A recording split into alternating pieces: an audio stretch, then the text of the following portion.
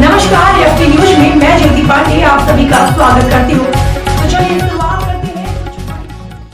तो नमस्कार, मैं विजयलक्ष्मी शर्मा, आप देख रहे हैं FT news Ayodhya Sultanpur road, Rama Lohia Vidyalaya के पास मुंबई ढाबे का हुआ भव्य उद्घाटन। इस उद्घाटन में शहर के सभी गणमान्य व्यक्ति मौजूद रहे। मुख्य अतिथि के तौर पर मुस्लिम राष्ट्रीय मंच के अवध प्रांत प्रभारी डॉक्टर अनिल सिंह मौजूद रहे। ढाबे का उद्घाटन प्रोप्राइटर सलमान खान के पिता के द्वारा फीता काटकर किया गया।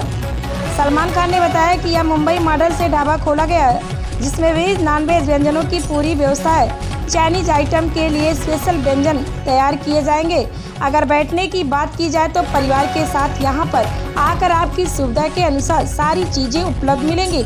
अगर वेज आइटम की बात की जाए तो वेज आइटम में काफ़ी चीज़ें उपलब्ध हैं। सॉफ्ट ड्रिंक, मॉकटेल वगैरह भी उपलब्ध है। नॉन वेज खाने वालों के लिए चिकन तंदूरी, चिकन पॉपकॉर्न जैसे व्यंजन बनारस व कोलकाता के बुलाए कारीगरों के द्वारा तैयार किया जाता है और सभी शहरवासियों से अपील किया है कि अपने परिवार के साथ एक बार इस ढाबे में ज़रूर आए। इसी कड़ी में मुख्य अतिथि के तौर पर मुस्लिम राष्ट्र मंच के अवध प्रांत प्रभारी डॉक्टर अनिल सिंह ने कहा कि इस ढाबे में वह सारी सुविधाएँ उपलब्ध है जो आज के समय में लोगों को चाहिए। वेज नॉन वेज जैसे आइटम कुशल कारीगरों के द्वारा बनाए जाएँगे। और हम सभी का सौभाग्य है कि हम सभी को इस ढाबे में आने का अवसर प्राप्त हुआ और यहाँ पर मौजूद स्वादिष्ट व्यंजनों का स्वाद लेने का अवसर मिला। नाम है, हमारा रेस्टोरेंट का नाम है, वो मुंबई ढाबा नाम है। हमारे यहाँ पे जो शेफ़ है, जो खाना, जो बना रहे हैं, उन लोग मुंबई से आए हुए हैं। और जो टेस्ट हम दे रहे हैं, वो प्योर टेस्ट मुंबई का है। हमारे पास इंडियन तंदूर और चाइनीज़ हर तरह की वैरायटी का खाना मिलेगा।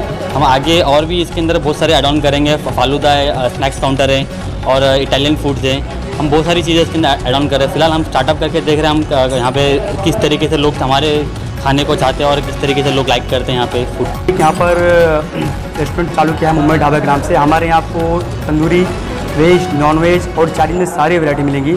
और यहाँ पर हम लोग एक कंफर्टेबल इन्वायरमेंट बना रहे हैं फैमिली के लिए भी। हमारा जो आगे का प्लान है, जैसा हमको यहाँ पर लोगों का रिस्पांस मिलेगा, हम लोग आगे चल के यहाँ पर बच्चों के खेलने के लिए पीछे जगह है प्ले एरिया बना रहे हैं। आप बर्थडे पार्टी किटी पार्टी ये सारी चीज़ें हमारे पास सुविधा उपलब्ध है। प्रधानमंत्री जी ने कहा था कि आपदा को अवसर में बदलो।